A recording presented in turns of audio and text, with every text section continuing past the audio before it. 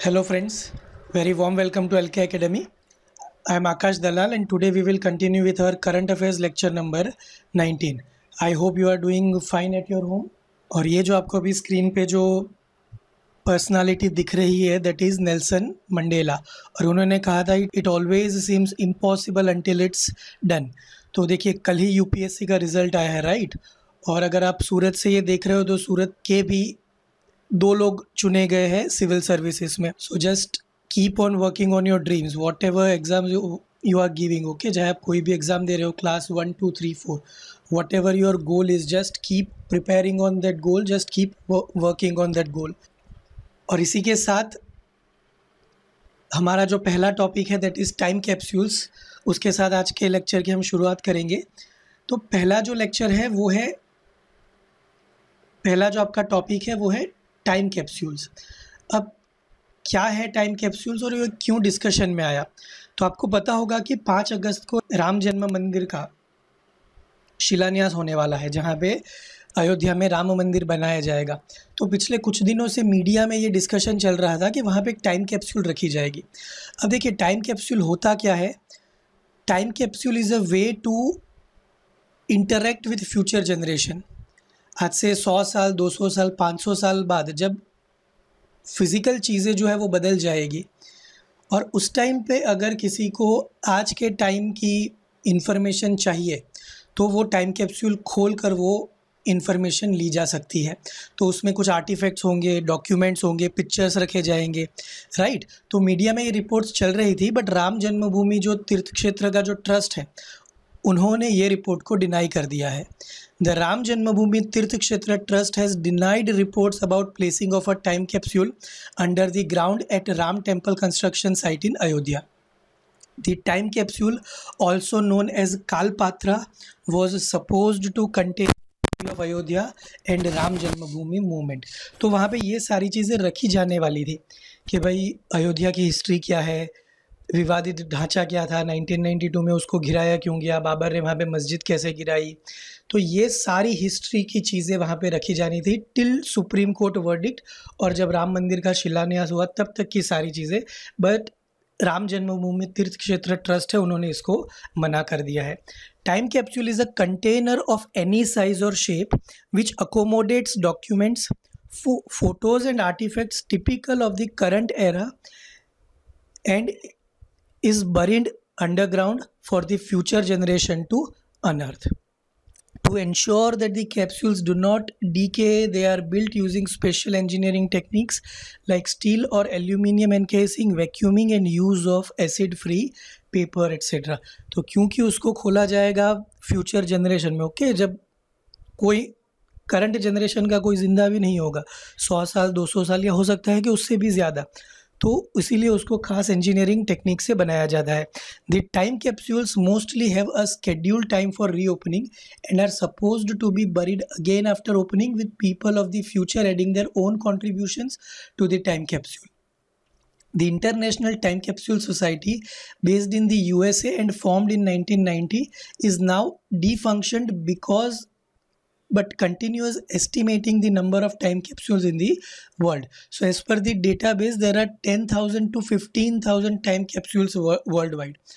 तो as of now आज की तारीख में दुनिया में अगर देखा जाए तो अलग अलग जो मॉन्यूमेंट्स है अलग अलग जो इंटरनेशनल या नेशनल इम्पोर्टेंस की जो जगह है वहाँ वैसे दस से पंद्रह हज़ार टाइम कैप्सूल वहाँ पे बरी की गई है ज़मीन के अंदर दफनाई गई है and this is the one example of time capsule जो कि रखी गई है आईआईटी कानपुर में।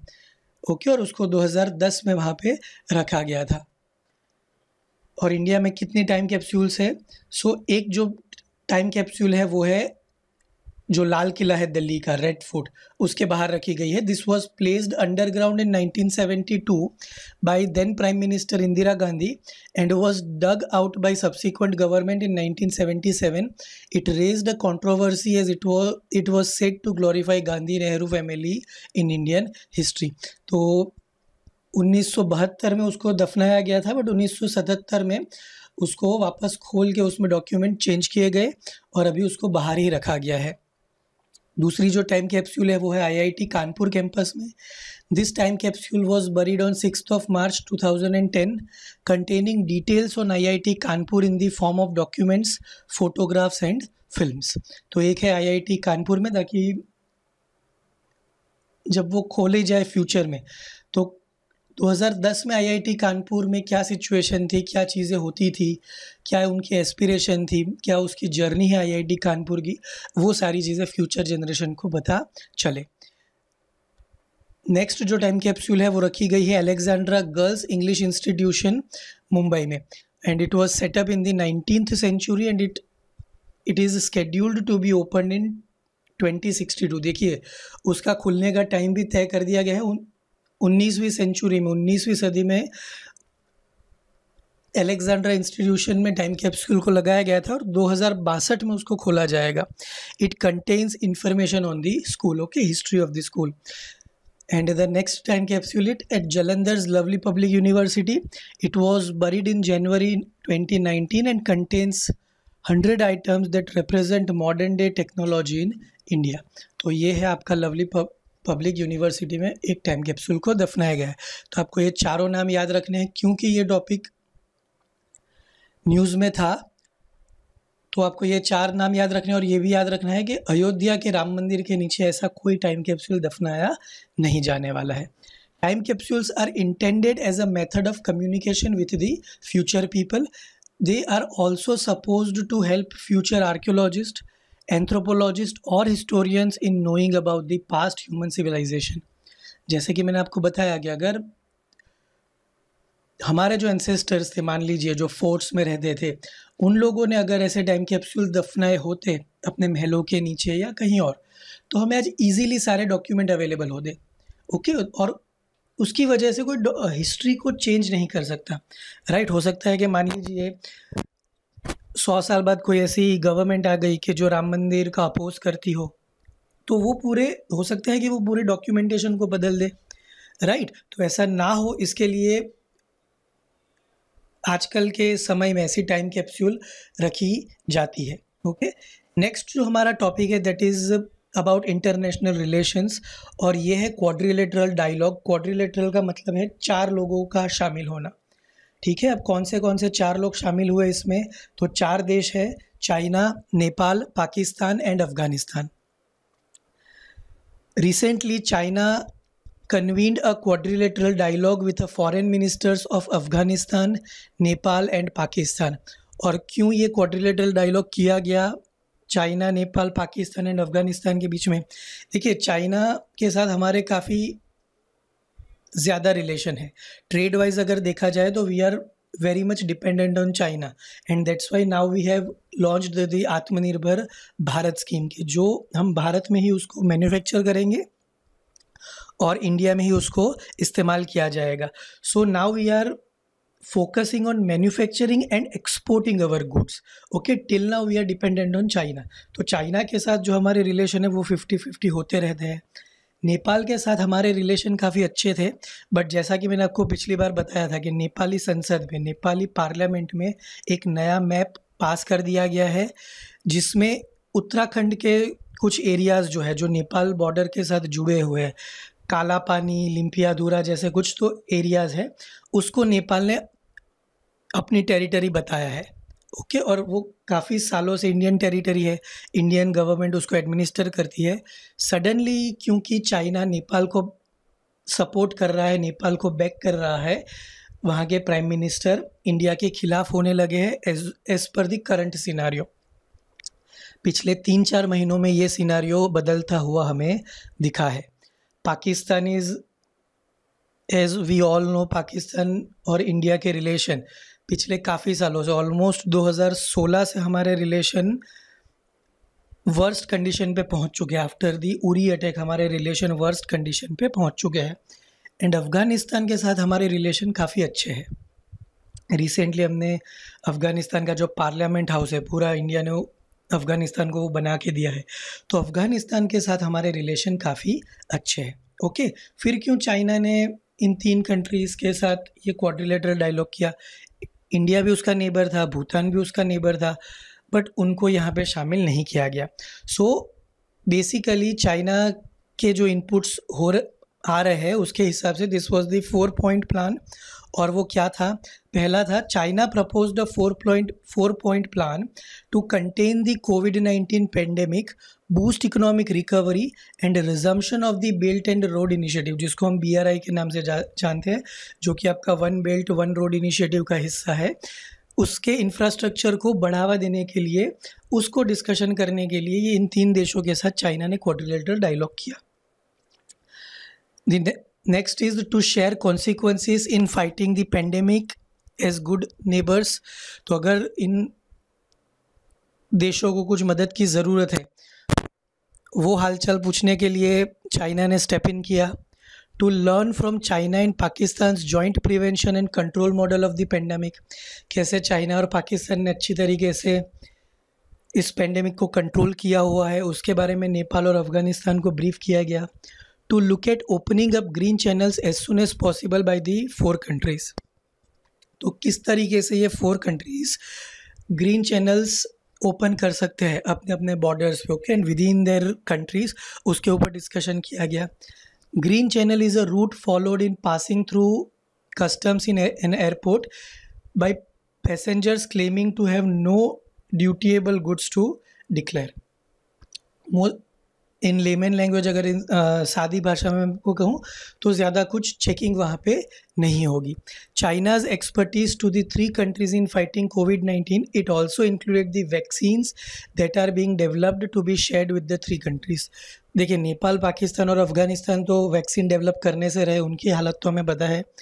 India USA UK China Germany ऐसे जो कंट्रीज़ है, वो ऑलरेडी वैक्सीन के सेकेंड या थर्ड स्टेज में पहुँच चुके हैं।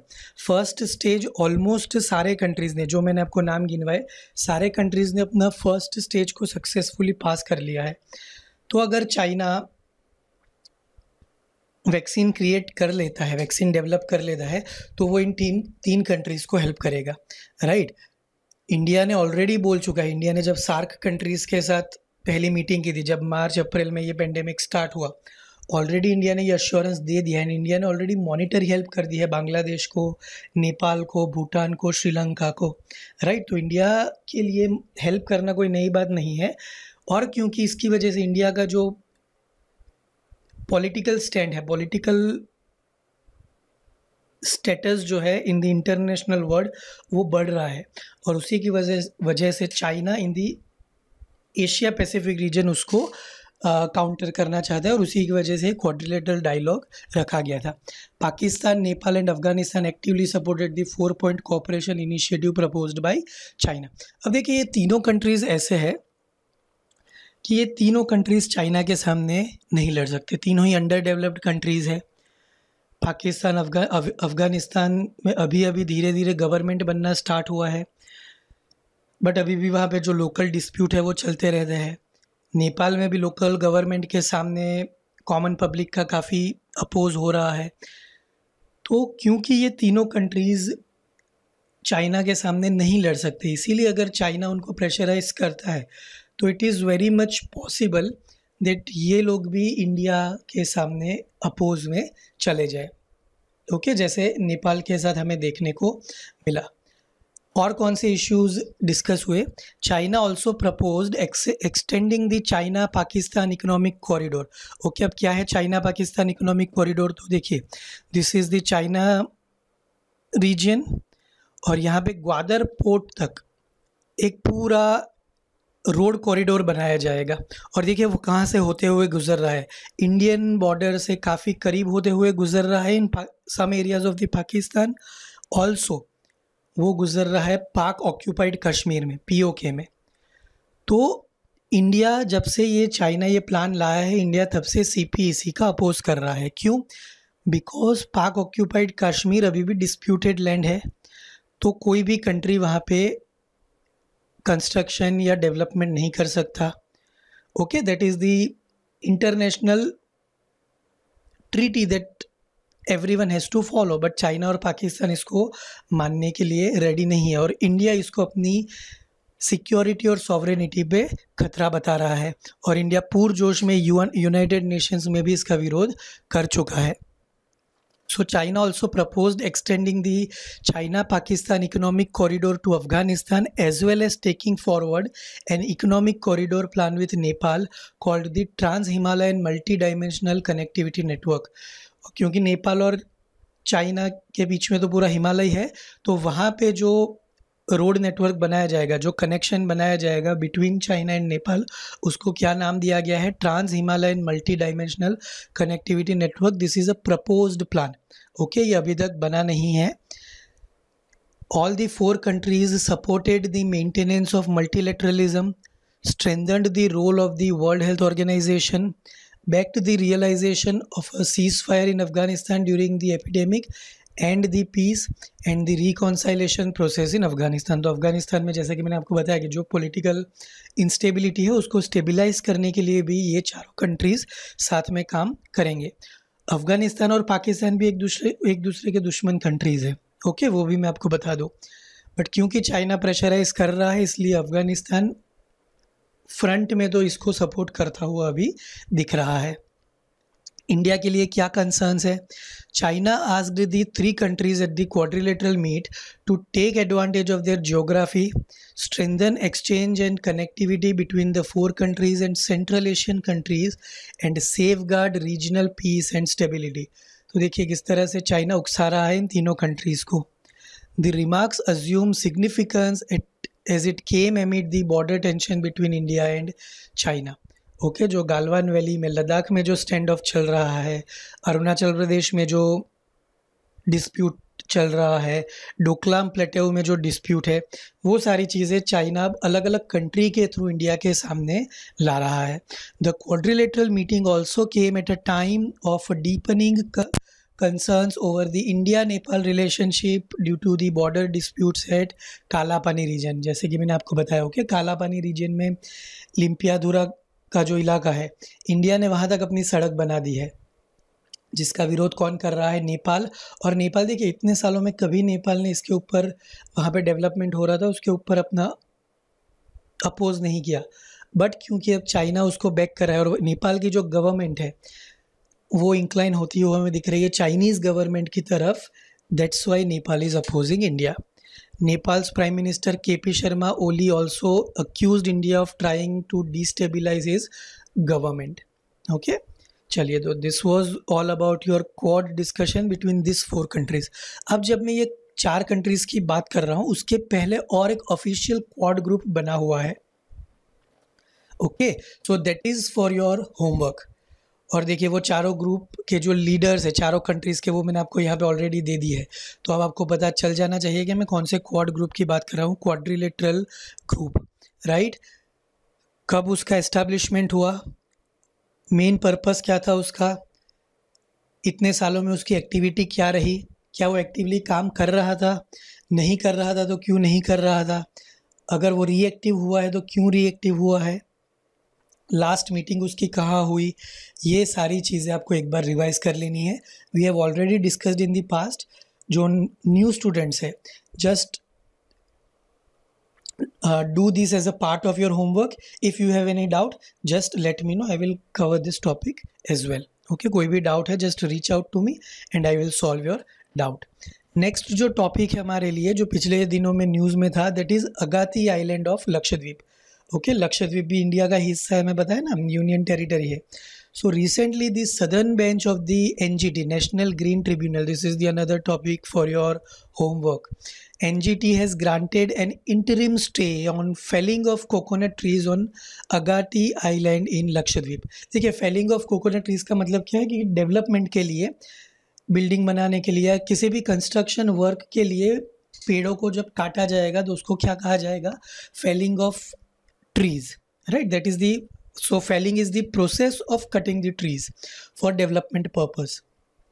तो अगाती आइलैंड में कोकोनट ट्रीज को काटा जा रहा था तो उसके खिलाफ पिटिशन हुई। And this is the map okay ये पूरा जो है दैट इज़ योर लक्षद्वीप और यहाँ पे जो मेरा आपको पॉइंटर uh, दिख रहा है highlight that is the Agatti islands okay जो कि है 459 kilometres from the Kochi ports Kochi port in Kerala background क्या है इसका? So recently a petition was moved in the national green tribunal over indiscriminate cutting of coconut trees for a beach road तो एक बीच road के development के लिए पेड़ों को काटा जा रहा था। The tree felling was violating the union territories integrated island management plan तो जो इंटीग्रेटेड आइलैंड मैनेजमेंट प्लान बनाया गया है फॉर द यूनियन टेरिटरीज उसको ये वायोलेट कर रहा था। ओके okay, ये प्रोसेस जो पेड़ों को काटा जा रहा था and that's why the petition was entered. IIMP was formulated on the basis of a report submitted by the Supreme Court appointed expert committee headed justice R V Ravindran a former जज of SC तो supreme court ने इस petition के लिए एक committee बनाई थी जिसको हेड कौन कर रहा था? फॉर्मर सुप्रीम कोर्ट जज आर वी रविंद्रन उन्होंने ये रिपोर्ट दी है सुप्रीम कोर्ट में।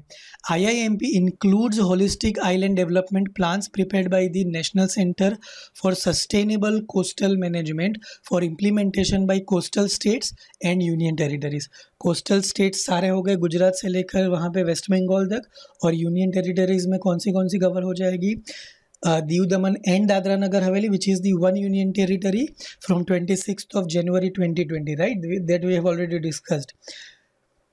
Then Pondicherry, Lakshadweep and Andaman and Nicobar तो ये सारे स्टेट्स और इन यूनियन टेरिटरीज के लिए एक पूरा सस्टेनेबल कोस्टल मैनेजमेंट प्लान बनाया गया है उस हिसाब से कोस्टल एरिया में डेवलपमेंट होना चाहिए the I I M P undertakes scientific approaches coupled with indigenous knowledge for the better management of the island and its resources. देखिए, क्योंकि ग्लोबल वार्मिंग धीरे धीरे बढ़ रहा है, जो आइलैंड एरियाज़ है हमारे, या तो जो कोस्टल एरियाज़ है, उनको सबसे ज़्यादा खतरा है आने वाले तीस चालीस सालों में because of the rising water levels तो इसीलिए वहाँ पे एक होलिस्टिक अप्रोच अपनाया जा रहा है कि मन हुआ, वैसे वहाँ पे डेवलपमेंट नहीं किया जाएगा।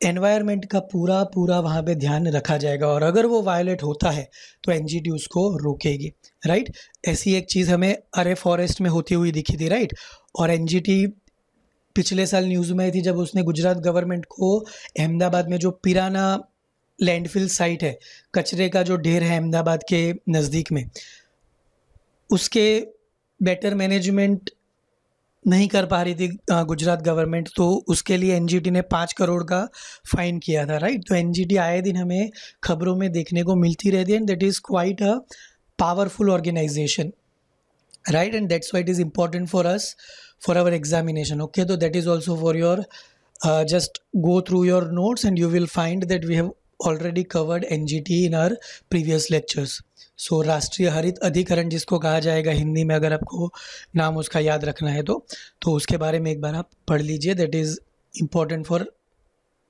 exam point of view concern क्या थे? So due to the large scale of cutting of coconut trees local residents are affected by losing income from the tree products तो जो कोकोनट ट्री के जो प्रोडक्ट है, उससे जो लोकल लोग पैसा कमाते थे, उसको हार्म होता, उसको अफेक्ट होता and also it also poses an environmental challenge because the trees on the coast line act as a green belt to protect the rest of the island during cyclones and other natural calamities ये सारी चीज़ें हमें पता है कि पेड़ का importance क्या है, उसमें वो हमें वापस डिस्कस करने की ज़रूरत नहीं है। और क्योंकि गवर्नमेंट कोस्टल एरिया में पेड़ काट रही थी, इसके लिए वहाँ पे पिटिशन दाखिल किए, जिस पे एन ने। जब तक एनजीटी इसमें खुद इंटरफियर करके पूरा मामला क्या है, वो समझ नहीं लेती, तब तक उसके ऊपर इंट्रीम स्टे लगा दिया गया है। सेम चीज़ वो आपकी हुई थी अरे फॉरेस्ट में। अरे फॉरेस्ट में सुप्रीम कोर्ट ने स्टे लगा दिया था राइट अरे फॉरेस्ट में एन जी टी ने अप्रूवल दे दिया था but still after that after the protest of thousands of people in that particular area supreme court ने उसके ऊपर स्टे लगा दिया था। और ये this is the extra stop for your Agatti island okay तो it is at distance of four fifty nine kilometre from Kochi Kerala and it is located in the west of Kavaratti island Kavaratti is the capital of the union territory of Lakshadweep It has an area of 3.84 square kilometer and has a northeast southwest trend with a long tail on the south. जैसा कि मैंने आपको आगे बताया right देखिए ये चीज़ आपको यहाँ पे देखने को मिलेगी और ये उसका कैपिटल है लक्षद्वीप का कैपिटल है कावाराती आइलैंड और वहाँ के जो लोगों की जो बेसिक इनकम है वो कहाँ से आती है? फिशिंग से। So fishing is the most important industry of Agatti which is perhaps the only island besides Minicoy getting surplus fish next to fishing coir that is coconut fibre and copra dried meat और kernel of the coconut are the main industries तो ये तीन main industries है, उसके ऊपर वहाँ के लोगों की जो रोज़ी रोटी है वो चलती है। नेक्स्ट जो इशू है नेक्स्ट uh, जो हमारा टॉपिक है that is UK to issue coin in honour of Mahatma Gandhi देखिए ये अभी ऑफिशियल न्यूज़ नहीं है but UK is considering to do this कि महात्मा गांधी की याद में एक कॉइन डेली करेंसी में लॉन्च uh, किया जाएगा. So Britain is considering okay so this is an important word Britain is still considering it is not yet decided and not yet official news ये कोई ऑफिशियल न्यूज़ नहीं है।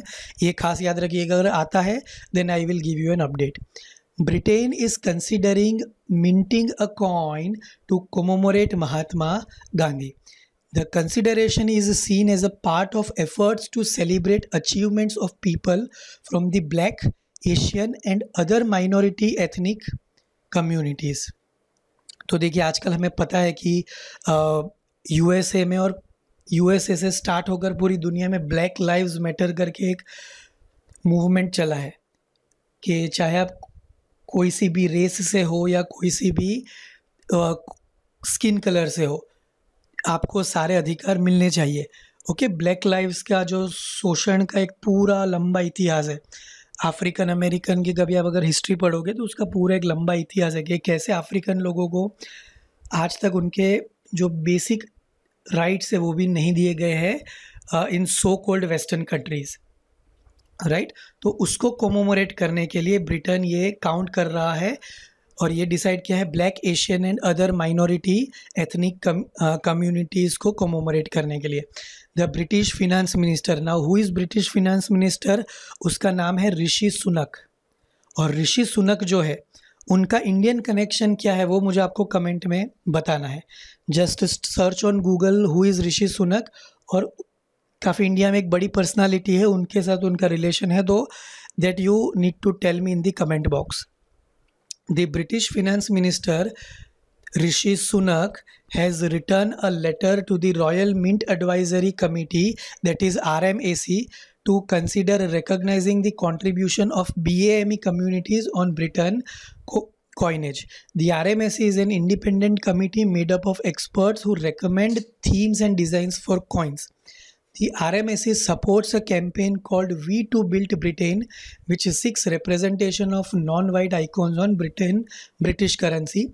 Recently, the murder of a black man, George Floyd, in the United States due to the police brutality has led to Black Lives Matter protests, जैसे कि मैंने आपको बताया, against racism, colonialism, and police brutality across the globe. Triggered by the death of George George Floyd, some British institutions began re examining their past, which includes their history, colonialism and racism. तो क्योंकि UK ये नहीं चाहता कि उसके यहाँ भी ऐसे प्रोटेस्ट हो दैट्स वाई यूके ने डिसाइड किया है कि भाई जिसने भी यूके के डेवलपमेंट में या अपने कंट्री में भी अगर किसी ने अच्छा काम किया है जिस जो वर्ल्ड हिस्ट्री पे नाम करके गया है उसकी याद में कॉइन लॉन्च किए जाएँगे। Okay and this is the details about the Mahatma Gandhi वो मुझे आपको बताने की ज़रूरत नहीं है। हम बचपन से इसको पढ़ते आ रहे हैं Mahatma Gandhi is father of our nation next जो टॉपिक है हमारा that is operation breathing space India and Israel तो इंडिया और इसराइल के बीच कोविड नाइन्टीन को लेकर एक काफ़ी इंपॉर्टेंट अग्रीमेंट हुआ है, उसको नाम दिया गया operation breathing space recently an Israeli team arrived in India with a multi pronged mission code named operation breathing space to work with Indian authorities on the covid nineteen response तो किस तरीके से कोविड नाइन्टीन के ऐसे kit launch किए जाए, जिससे with in few minutes आपको उसका रिज़ल्ट मिल जाएगा कि भाई कोई इंसान पॉजिटिव है या नेगेटिव है। और इंडिया जैसे कंट्री में ज़्यादा से ज़्यादा टेस्टिंग करना हमारे लिए एक बड़ा चैलेंज है और हमारे लिए एक बड़ी रिक्वायरमेंट भी है। This is the Israeli PM Benjamin Netanyahu जो कि काफ़ी अच्छे दोस्त माने जाते हैं हमारे प्राइम मिनिस्टर नरेंद्र मोदी के। आजकल इसराइल में भी उनके खिलाफ प्रोटेस्ट चल रहा है। Okay political protest let's not get let's not get into that हम बात करेंगे ऑपरेशन ब्रीदिंग स्पेस के बारे में।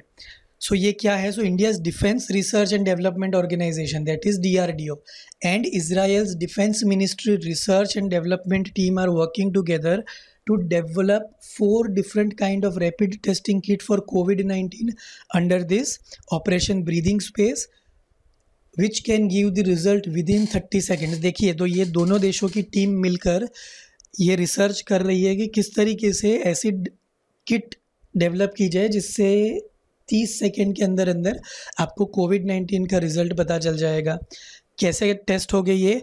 तो the test includes an audio test a breath test thermal testing and a polyamino test okay so in the audio test a patient's voice would be recorded and evaluated through artificial intelligence and machine learning. तो audio record किया जाएगा और artificial intelligence की मदद से वो tool आपको बता देगा कि भाई किसी इंसान को कोविड नाइन्टीन वो पॉजिटिव है या नेगेटिव है?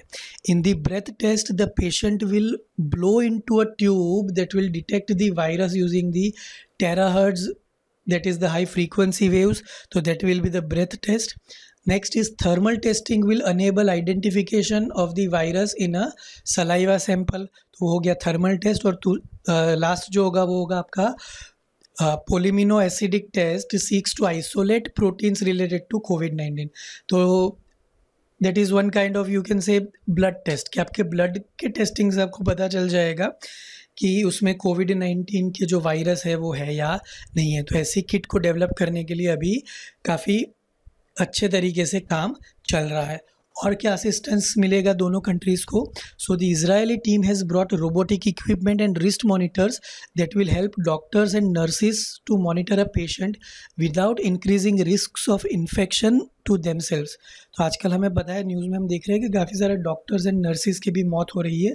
क्यों? Because they are in constant contact with corona patients तो अगर रोबोटिक इक्विपमेंट्स की मदद उनको मिलेगी तो उनको फ़ायदा होगा। The team has also brought eighty three advanced respirators to help patients with severe symptoms benefit क्या मिलेंगे इसको? The success of rapid test will help India's overworked healthcare professionals who are experiencing fatigue.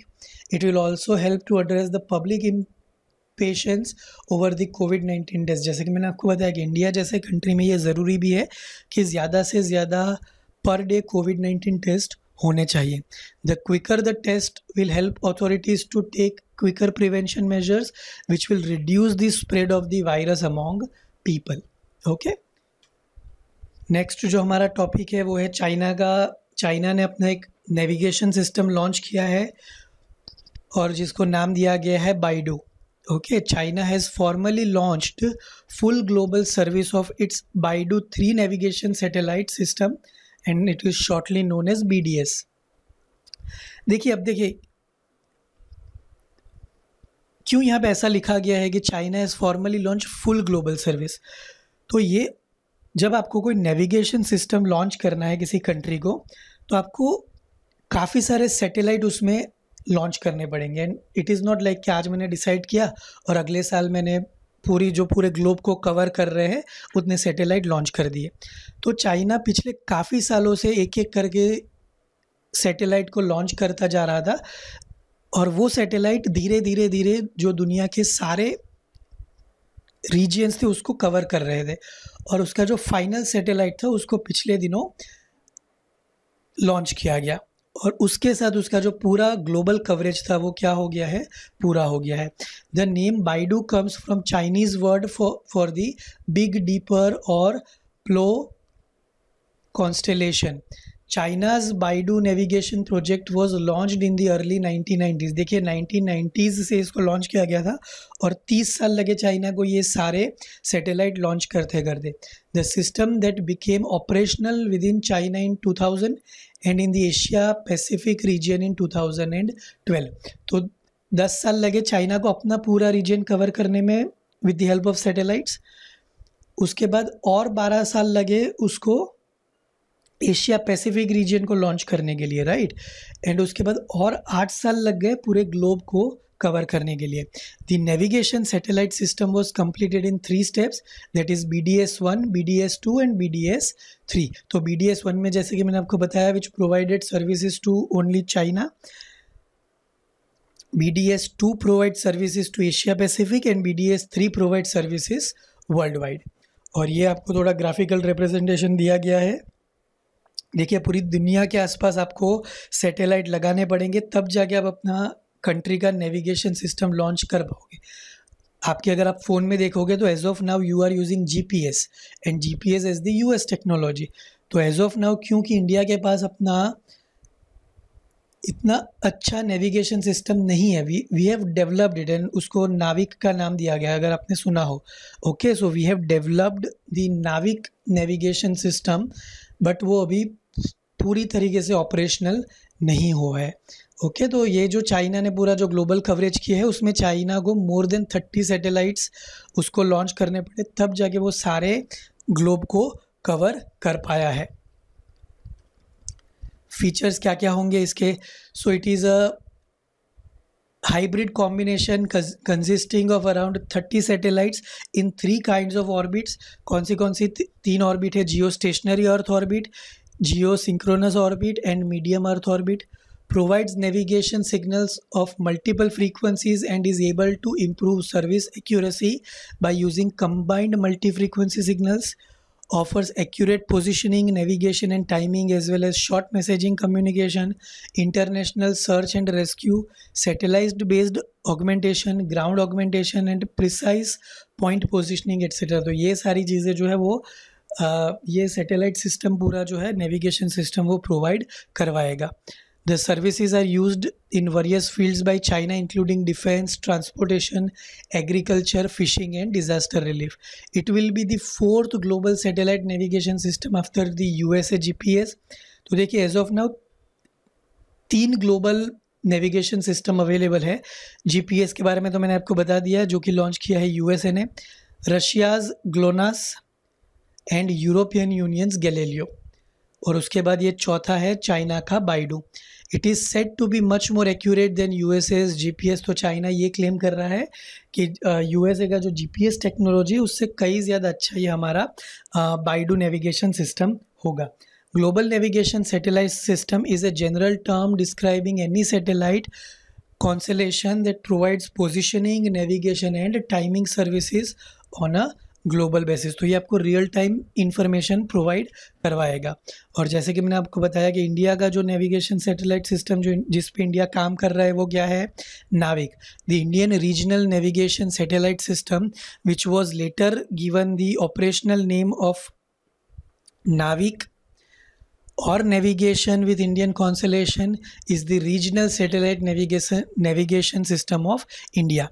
launched or and prepared by the Indian Space Research Organization ISRO ने इसको launch किया है and as of now it covers India and nearby regions only extending up to 1500 kilometers. The constellation consists of seven active satellites out of which three are located in geostationary earth orbit and four in inclined geosynchronous orbit and this is about Navig India um, नाविक के लिए जो इसरो ने सात satellite launch किए हैं, वो इस तरीके से आपको यहाँ पे दिखेंगे। So this is the everything about NavIC. तो अब तक देखिए, सात सैटेलाइट लॉन्च किए गए हैं। Three in your geostationary orbit and four in your geosynchronous orbit और सैटेलाइट ऑर्बिट्स कौन सी कौन सी है? This is again your related to your science and technology topic already discuss हमने कर लिया है that's why have just given the information you can go through this slide on your own ज़्यादा कुछ इसमें हार्ड नहीं है जो आपको सिखाना पड़े. You already know all this things तो ये this is the graphical representation geostationary satellite होगा तो वो इस फॉर्मेट में होगा, इस ऑर्बिट में होगा. And this is the geosynchronous orbit okay और उसकी डेफिनेशन आपको यहाँ पे दी गई है. नेक्स्ट जो टॉपिक एक छोटा सा दैट इज़ सुभाष चंद्र बोस आपदा प्रबंधन पुरस्कार। देखिए, नाम से ही पता चल रहा है कि आपदा प्रबंधन में जिसने अच्छा काम किया होगा, जिसने आइडियाज़ दिए होंगे, उसको सुभाष चंद्र बोस आपदा प्रबंधन पुरस्कार दिया जाएगा। आपदा प्रबंधन का मतलब क्या है? जब कोई डिज़ास्टर आता है तो डिज़ास्टर मैनेजमेंट में अगर कोई इंस्टीट्यूशन कोई एनजीओ या कोई इंडिविजुअल कोई अच्छा काम करेगा एक्सेप्शनल काम करेगा इंस्पिरेशनल काम करेगा तो उनको ये पुरस्कार दिया जाएगा। इंडियन गवर्नमेंट की तरफ़ से। So the government of India has invited nominations for the Subhash Chandra Bose Aapda Prabandhan Puraskar applications for the year 2021 would be accepted till 31st of August 2020 तो 2021 में जो ये अवार्ड्स दिए जाएँगे, उसके लिए नॉमिनेशन की जो विंडो है वो कब तक खुली रखी गई है? थर्टी फ़र्स्ट अगस्त ट्वेंटी और कोई भी इंसान जाके अपना या किसी का नाम वहाँ पे डाल सकता है। किसी इंस्टीट्यूशन एनजीओ का नाम भी वहाँ पे डाला जा सकता है। The government of India instituted Subhash Chandra Bose Aapda Prabandhan Puraskar to recognize the excellent work done by individuals and institution in the field of disaster management तो ये पर्टिकुलरली डिजास्टर मैनेजमेंट में जिसने अच्छा काम किया होगा, उनको ये पुरस्कार दिया जाएगा। इसको एडमिनिस्टर कौन करता है, इसका संचालन कौन करता है तो वो करता है नेशनल डिज़ास्टर मैनेजमेंट अथॉरिटी जिसको जाना जाता है एनडीएमए के नाम से and it was created by the ministry of home affairs under the disaster management act 2005 award में क्या क्या दिया जाएगा? So the awards are announced on the birth anniversary of Netaji Subhash Chandra Bose on twenty third of January every year in addition to the certificate The awards carry a cash award of rupees 51 lakhs for an institution and rupees 5 lakhs for an individual. The institution has to utilize the cash prize for disaster management related activities only eligibility क्या होगी only Indian nationals जो कि भारतीय नागरिक है only Indian nationals and Indian institutions can apply for the award The nominated individual or institution should have worked in any area of disaster management like prevention, mitigation, preparedness, rescue mission, response, relief, rehabilitation, research, innovation और early warning in India. तो ये field में उन्होंने काम किया हो किसी ने भी इंडिविजुअल ने या किसी संस्था ने किसी इंस्टीट्यूशन ने उसका नाम सबमिट किया जा सकता है फॉर दी नॉमिनेशन तो ये एक छोटा सा टॉपिक था, वो आपको याद रखना है। Now next our topic is very important and that is national education policy नई राष्ट्रीय शिक्षा नीति को पूरे देश के सामने पब्लिक कर दिया गया है और आने वाले कुछ समय में इसके जो पूरे रूल्स है, वो भी पॉइंट टू पॉइंट हर स्टेट्स को भेज दिए जाएँगे और काफ़ी सारे अच्छे अच्छे गोल्स इसमें प्रोवाइड करवाया गया है, जो कि इंडिया 2030 तक 2035 तक आने वाले 10-15 सालों में इंडिया उसको अचीव करने की ट्राई करेगा। So it is the you know जो बेसिक इंफ्रास्ट्रक्चर था हमारे एजुकेशन का, उसको मूलभूत रूप से बदल दिया गया है। उसका जो मूलभूत ढांचा था बेसिक स्ट्रक्चर था बेसिक डॉक्ट्रिन जो था उसको बदल दिया गया है। Right and it is very much revolutionary in nature और जो अपोजिशन है, वो भी इसको प्रेस करता हुआ दिख रहा है। तो एज ऑफ़ नाउ हमारे जो, इसके साथ और एक चीज़ आपको याद रखनी है। एच आर डी मिनिस्ट्री जो थी, हमारी ह्यूमन रिसोर्स डेवलपमेंट मिनिस्ट्री उसका नाम बदल कर जिस दिन नई नेशनल एजुकेशन पॉलिसी लाई गई, उसी दिन मानव संसाधन विकास मंत्रालय का नाम बदलकर शिक्षा मंत्रालय कर दिया गया है, एजुकेशन मिनिस्ट्री कर दिया गया है। तो ये चीज़ आपको खास याद रखनी है, कहीं ना कहीं class one, two, three, four में सिंगल लाइन का अगर आपको क्वेश्चन पूछा जाएगा, ये क्वेश्चन आपको कहीं ना कहीं कोई ना कोई एग्ज़ाम में देखने को ज़रूर मिलेगा। तो ध्यान से देख लीजिए एचआरडी मिनिस्ट्री का नाम बदलकर मिनिस्ट्री ऑफ़ एजुकेशन कर दिया गया है okay recently the union cabinet has approved the new national education policy with an aim to introduce several changes in the Indian education system from the school to college level. The NEP 2020 aims at making India a global knowledge superpower. The cabinet has also approved the renaming of the Ministry of HRD to the Ministry of Education. the NEP cleared by the cabinet is the only third major revamp of the framework of education in India since independence. देखिए आज, अब तक 2020 तक तीन ही बार हमारी राष्ट्रीय शिक्षा नीति में चेंज किया गया है। And this is always considered a revolutionary step जब आप शिक्षा के साथ कुछ भी बदलाव करते हो तो that will affect each and every person in your country okay बाकी के जो पॉलिसीज़ हो सकता है कि वो कोई पर्टिकुलर सेक्टर के लिए बनाई गई हो।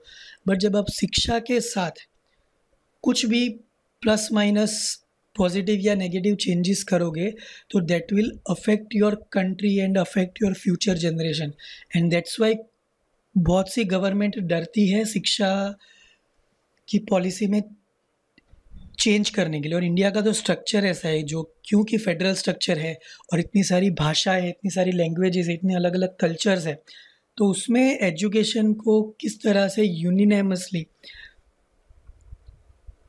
एक तरीके से अप्लाई किया जाए, वो काफ़ी टी डी एस टास्क हो जाता है इंडियन गवर्नमेंट के लिए right so the N E P जो आगे के दो चेंजेस थे नेशनल एजुकेशन पॉलिसी में वो कब कब किए गए थे? पहला जो चेंज था वो किया गया 1968 में और दूसरा चेंज गया 1986 में। देखिए 1986 के बाद पहला चेंज सीधा हो रहा है after this many years in 2020 transforming curricular and pedagogical structure existing structure जो है वो क्या है आपका? तो छः से सोलह साल की उम्र में आपका दस साल का एजुकेशन होगा ओके और उसके बाद का आपका कॉलेज वाला एजुकेशन होगा। अब न्यू एकेडमिक स्ट्रक्चर में आपको क्या कहा गया है? So class one and two छः से आठ साल में बच्चा कहाँ पे होगा? क्लास वन और टू में होगा। उसके पहले तीन इयर्स आंगनवाड़ी प्री स्कूल और बाल वाटिका। प्ले ग्रुप जिसको हम बोलते हैं, वहाँ पे उसको रखा जाएगा। So that will create the foundation for the education और उसको इसलिए उसको नाम दिया गया है फाउंडेशनल स्टेज ओके देखिए फाउंडेशनल स्टेज में क्या होगा? Multi level play activity based on learning जिसमें कौन सा कलर है, कौन सा शेप है, ये सारी चीज़ें। बेसिक जो चीज़ें हैं, जो छोटे बच्चे को हम सिखाते हैं, हम अपने घर में, वो सारी चीज़ें उनको सिखाई जाएगी। Then class three to five fall under age eight to eleven जो कवर करेगा आपके और तीन साल। उसके बाद और एक, और तीन साल कवर करेंगे, जो कि होगा आपका क्लास सिक्स टू एट जब आपकी एज होगी इलेवन टू फोर्टीन उसके बाद होगा आपका चार साल का एक कंटिन्यूस प्लेटफॉर्म जो कि होगा आपका class nine to twelve age fourteen to eighteen so new pedagogical and curricular structures of school education is five plus three plus three plus four देखिए, ये पाँच साल यहाँ पे आपके कवर हो गए, ये तीन साल, उसके बाद और एक तीन साल का प्लेटफॉर्म होगा एंड जो लास्ट प्लेटफॉर्म होगा वो आपका होगा चार साल का राइट right? अभी देखिए, ये अभी यहाँ पे क्या होता था? दसवीं तक एक अलग सेक्शन होता था primary secondary and higher secondary उसको पूरी तरह से क्या कर दिया गया है? मिटा दिया गया है। तो सेकेंड यहाँ से स्टार्ट कर दे ओके फंडामेंट फाउंडेशनल स्टेज में जैसे कि मैंने आपको बताया multi level play activity based learning होगा। प्रिपेरेटरी स्टेज जो, में क्या होगा? जो कि होगा तीन साल के लिए play discovery and activity based and interactive classroom learning middle stage जो जो भी होगा तीन साल के लिए वहाँ पे क्या होगा? Experiential learning in the science mathematics arts social sciences and humanities और सेकेंडरी स्टेज जो कि होगा आपका चार साल, जो कि आपका नौ, दस, ग्यारह और बारहवीं कक्षा होगी, वहाँ पे क्या होगा? Multidisciplinary study greater critical thinking flexibility and student choice of subjects school education में क्या बदलाव किया गया है? तो जो आपको सामने पिक्चर में बताया, वही चीज़ यहाँ पे आपको वर्ड्स में दी गई है। ओके तो एक बार आप ये पढ़ लीजिए और आपका जो पूरा आगे का जो आपका स्ट्रक्चर था, वही चीज़ आपको यहाँ पे दी गई है। Class ten and twelve board examination to be made easier okay, एक रिलीफ की बात है। वैसे अगर हम इस एग्ज़ाम के बारे में बात करें कॉम्पिटिटिव एग्ज़ाम के बारे में so most of theirs have already passed class twelve and class twelve and class tenth examination okay और सोचिए कि उस टाइम में कितना प्रेशर रहता था फैमिली वालों का स्कूल वालों का राइट और उसके काफ़ी कॉन्सिक्वेंसेज इंडियन एजुकेशन में देखने को मिले हैं। और जो फ्रूट्स उसके मिलने चाहिए थे पॉजिटिव फ्रूट्स वो इतने अच्छे नहीं है एंड दैट्स वाई ये चेंज वहाँ पे किया गया है। So class ten and twelve board examination to be made easier to test core competencies rather than memorised facts ठीक है? रट लिए सारी चीज़ें और नब्बे मार्क ला दिए तो वो हमें कहीं भी काम नहीं लगता है memorised facts with all the students allowed to take the exam twice. School governance is set to change with a new accreditation framework and an independent authority to regulate both public and private schools तो देखिए, एक independent authority हर जिला स्तर पर, ग्रामीण स्तर पर बनाई जाएगी, जो मॉनिटर करेगी both private and public schools उसका जो फ्रेमवर्क है वो अभी तक नहीं आया है वो आने वाले कुछ टाइम में जब पूरा मैंने जैसे कि आपको बताया पॉइंट टू पॉइंट चीज़ें हमें आने वाले टाइम में पता चलेगी emphasis on foundational literacy and numeracy no rigid separation between academic streams extra curricular vocational streams in schools तो देखिए आज क्या होता है साइंस कॉमर्स और आर्ट्स के बीच में there is a visible difference कि भाई साइंस वाला जो है वो कॉमर्स स्ट्रीम में नहीं जाएगा कॉमर्स वाला आर्ट्स आर्ट्स स्ट्रीम में नहीं जाएगा एंड वाइस वर्सा अब वहाँ पे कोई रिजिड सेपरेशन नहीं रहेगा. उनको सब्जेक्ट चूज़ करने दिया जाएगा. मान लीजिए कोई साइंस वाले बंदे को अगर कुछ आर्ट्स का सब्जेक्ट भी पढ़ना है तो उनको वो ऑप्शन भी वहाँ पे दिया जाएगा. Vocational education to start from class six with internships teaching up to at least grade five to be in mother tongue regional language no language will be impose on any student जैसे कि मैंने आपको बताया कि हमारे यहाँ इतनी भाषा है कि एजुकेशन को एक सरीखा रखना काफ़ी मुश्किल हो जाता है and that's why for states ये रखा गया है कि ग्रेड फाइव तक आपको मदर टंग में पढ़ाना चाहिए या तो रीजनल लैंग्वेज में पढ़ाइए। ओके जनरली आजकल हम जो भाग रहे हैं, वो इंग्लिश मीडियम के पीछे भाग रहे हैं तो उसको काउंटर करने के लिए ये प्रोविज़न लाया गया है।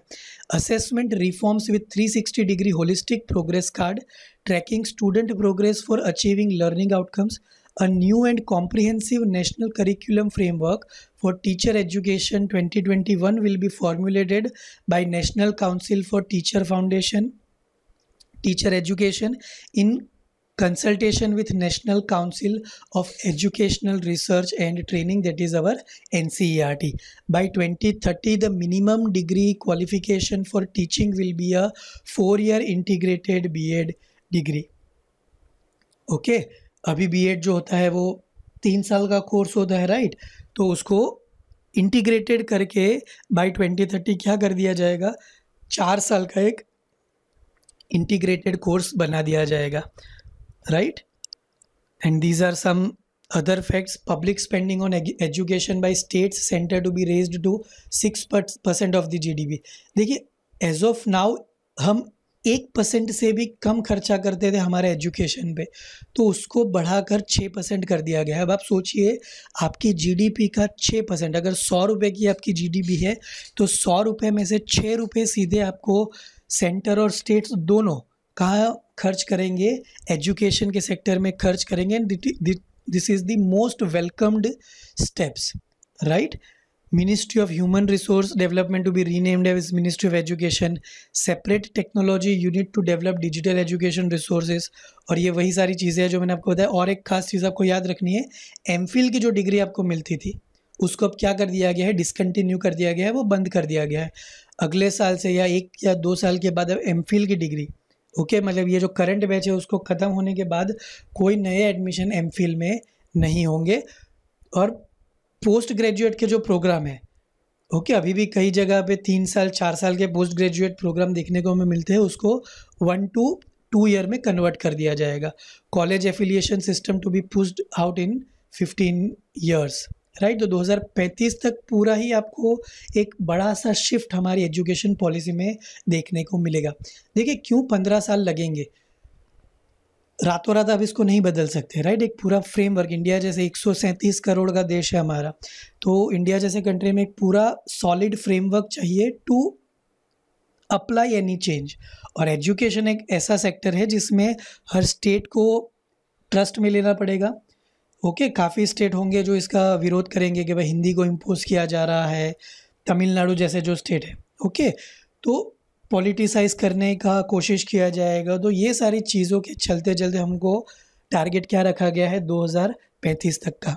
Also, universalization from age 3 to class 10 by 2030 mission to ensure literacy and numeracy skills by 2025 आने वाले पाँच सालों में हर बच्चा लिटरेसी उसको मिली हुई होगी और न्यूमरेसी स्किल्स उसके पास होगी। आज भी आप गाँव के स्कूलों में जाओगे तो बच्चा पढ़ रहा है पाँचवीं कक्षा में बट उसको ए बी सी डी या अब का लिखना नहीं आएगा या उसको पहचानना नहीं आएगा। नंबर्स पहचानने में उसको मुश्किल होगी। तो ऐसा ना हो इसका, उसके लिए एक पूरा एक फ्रेमवर्क बनाया जाएगा और उसको अचीव किया जाएगा by twenty twenty five mother tongue as medium of instruction till class five wherever is possible.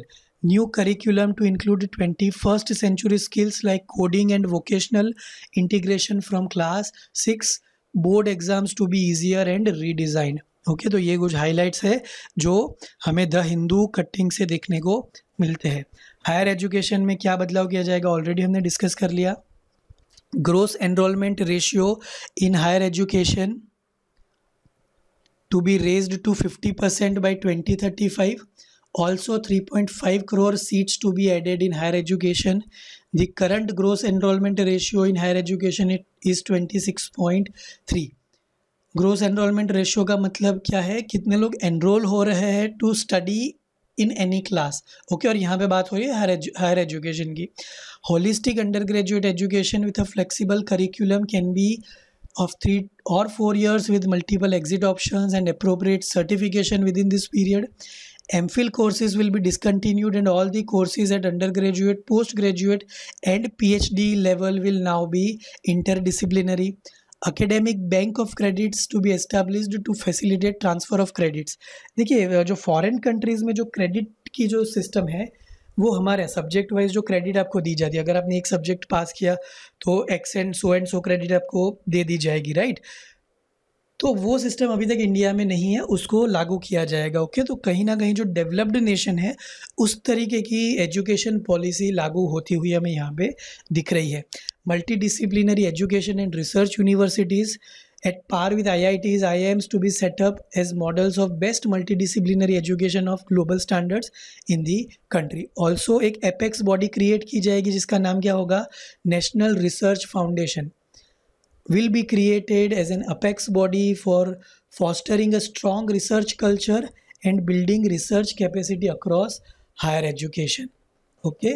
और ये जो है वो हायर एजुकेशन के लिए और जो चेंजेस है वो किए जाएँगे higher education commission of India will be set up as a single umbrella body for the entire higher education excluding medical and legal education तो medical और legal के लिए अलग व्यवस्था already कर दी गई है public and private higher education institutions will be governed by same set of norms for regulation accreditation and academic standards also HECI will be having four independent verticals namely और उसके नीचे चार और और अलग अलग इंस्टीट्यूशन काम करेगी, जो कि होगी national higher education regulatory council for regulation purpose general education council for standard setting के क्या स्टैंडर्ड रहेंगे स्कूलों में for government school for private schools higher education grants council for funding जो कि कॉलेजेस और यूनिवर्सिटीज़ को फंडिंग देगी। अभी यूजीसी देता है यूनिवर्सिटी ग्रांट्स कमीशन एंड चौथा आपका होगा national accreditation council for accreditation okay चलिए। Affiliation of college is to be pushed out in fifteen years and a stage wise mechanism to be established for granting graded autonomy to colleges over a period of time every college is expected to develop into either an autonomous degree granting college और a constituent college of a university तो आने वाले सालों में ये changes हमें देखने को मिलेंगे। और चेंजेस क्या होंगे तो जो, जैसा कि मैंने आपको बताया, काफ़ी सारी नई बॉडीज़ क्रिएट की जाएगी एजेंसीज क्रिएट की जाएगी, और वैसी एक एजेंसी होगी, यानी autonomous body the national education technology forum N E T F will be created to provide a platform for exchange of free ideas on the use of technology to enhance learning assessment planning and administration National Assessment Center Parak has been created to assess the students. It also paves the way for foreign universities to set up campuses in India. ताकि Indian students को बाहर ना जाना पड़े जो बाहर facilities मिल रही है वो सारी इंडिया में उनको वो कॉलेजेस अपने कैंपस खोल पाएगी it emphasises setting up of gender inclusion fund special education zone for disadvantage regions and groups north east के रीजन हो गए या छत्तीसगढ़, मध्य प्रदेश जैसे जो ट्राइबल एरियाज़ है, वहाँ पे स्पेशल कॉलेज खोले जाएँगे। National institutes for Pali Persian and Prakrit Indian institute of translation and interpretation interpretation to be set up तो देखिए, जो एंशियंट लैंग्वेजेस है, उनको भी बढ़ावा दिया जाएगा। Also it also aims to increase the public investment in education sector to reach six percent of the G D P at the earliest तो आने वाले बजट में या तो एक दो साल वाले बजट में। देखिए गवर्नमेंट ने कोई पर्टिकुलर टाइमलाइन यहाँ पे नहीं दी है तो वी कैन एक्सपेक्ट कि भाई 2022 या 2023 हमारा जो गवर्नमेंट बजट का जो शेयर है एजुकेशन के लिए वो धीरे धीरे ग्रेजुअली हमें बढ़ता हुआ दिख दिखेगा। और उसको कहाँ तक लेके जाना है हमें? सिक्स परसेंट तक लेके जाना है। Currently India spends around four point six percent of its total G D P on education this is the government numbers okay but actually जो आपको अगर देखोगे गवर्नमेंट जो कितना स्पेंड कर रहा है तो इट इज़ जो रिपोर्ट्स जो काफ़ी सारी एजेंसीज uh, ने सबमिट किया है that is around one to one point five percent and that is very much less so this was your today's lecture. I hope you have liked it. Let me know in case of any doubt. Stay home stay safe. Thank you